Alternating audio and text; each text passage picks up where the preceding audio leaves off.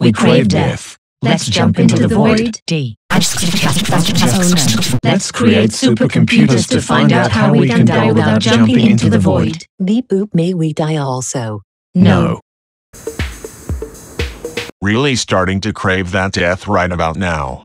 Maybe if I consume a drastic amount of natural resources it will allow me to find a way to die. Hee hee water goes skluorp. Hey dude I also kinda need that water. Dude. Dude. Dude.